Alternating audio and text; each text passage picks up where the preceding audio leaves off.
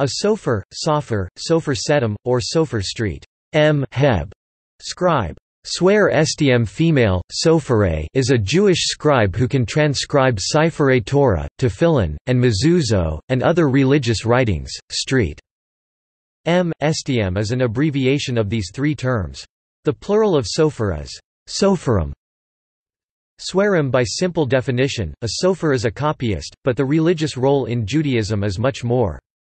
Besides Sifrei Torah, Tefillin, and Mezuzot, scribes are also necessary to write the five Megillot scrolls of the Song of Songs, Book of Ruth, Book of Esther, Ecclesiastes, and Book of Lamentations, Nevi'im the books of the prophets, used for reading the Haftarah, and for Gittin, divorce documents. Also, many scribes function as calligraphers—writing functional documents such as ketubot marriage contracts", or ornamental and artistic renditions of religious texts, which do not require any scribal qualifications, and to which the rules on lettering and parchment specifications do not apply.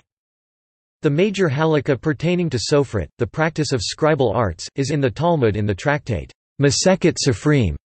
In the Torah's 613 commandments, the second to last is that every Jew should write a Sefer Torah in his lifetime Deuteronomy chapter 31 verse 19. Qualifications and education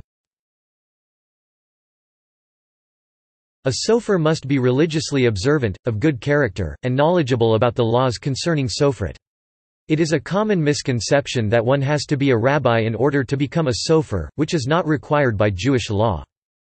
People who want to become ritual scribes usually learn from another expert scribe by undergoing shimush apprenticeship, since it would be impossible for someone to be a scribe without any actual practice.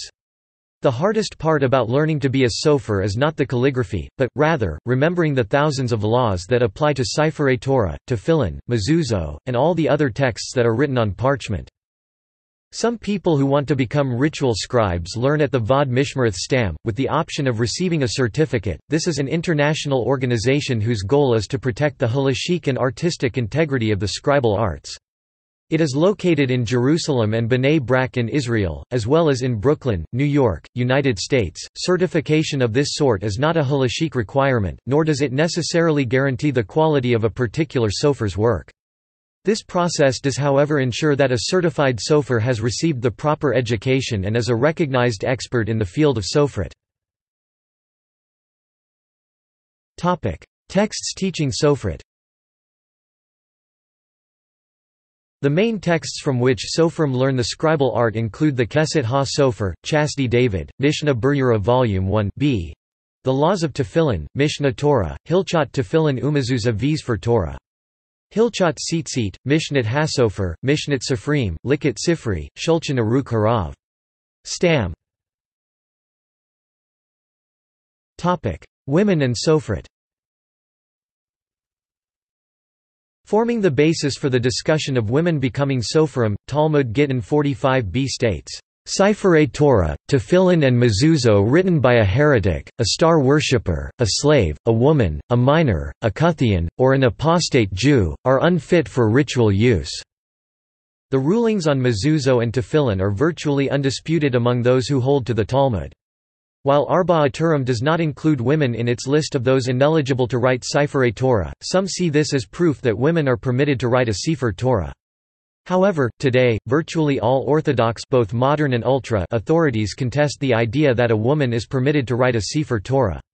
Yet, women are permitted to inscribe ketubot marriage contracts, stam not intended for ritual use, and other writings of Sofrit beyond simple stam. In 2003, Canadian Aviel Barclay became the world's first known traditionally trained female sofer. In 2007 Jen Taylor Friedman, a British woman, became the first female sofer to scribe a Sefer Torah.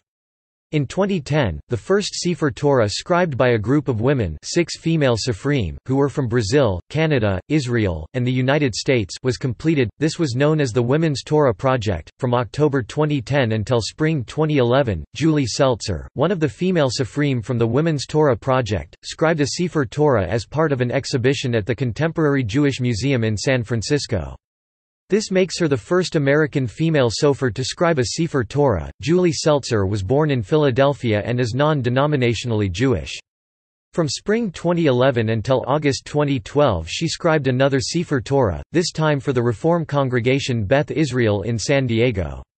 Seltzer was taught mostly by Jen Taylor Friedman. On September 22, 2013, Congregation Beth Elohim of New York dedicated a new Torah, which members of Beth Elohim said was the first Torah in New York City to be scribed by a woman. The Torah was scribed by Linda Coppleson. As of 2014, there are an estimated 50 female sofars in the world. Documents written by scribes Besides Torah scrolls, tefillin, and mezuzot, scribes are also necessary for the writing of the five Megillot scrolls of the Song of Songs, Book of Ruth, Book of Esther, Ecclesiastes, and Book of Lamentations and Nevi'im the books of the prophets, used for reading the Haftarah, and for Gittin divorce documents. In some communities, especially Chaim Kanievsky's community in Bnei Brak, Sopharim also write the other books of the Bible, such as Psalms or the Book of Ezra. This was promoted in 19th-century Jerusalem by Rabbi Shemuel Shelomo Boyarsky. Calligraphy and lettering There are many rules concerning the proper formation of letters that must be adhered to if a written text is to be deemed religiously valid. The Ashkenazi, Sephardi, Chabad Lubavitch, and Mizrahi Jews each have their own script for forming the letters, though the same rules apply throughout the text. Generally, regarding Sifrei Torah, none of these groups would consider that these differences would render a Torah pasul ritually unfit or invalid. The documents must be written on properly prepared parchment or vellum known as klaf.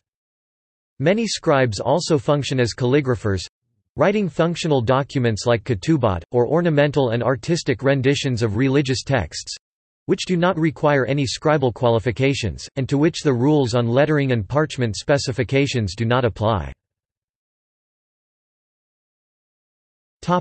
See also KLAF List of Sofars Scribe Tikkun Soferim Women's Torah Project References External links Vaad Mishmereth Stam What Makes Street M. Pasul Overview of a Sofer's work www.sofar.co. UK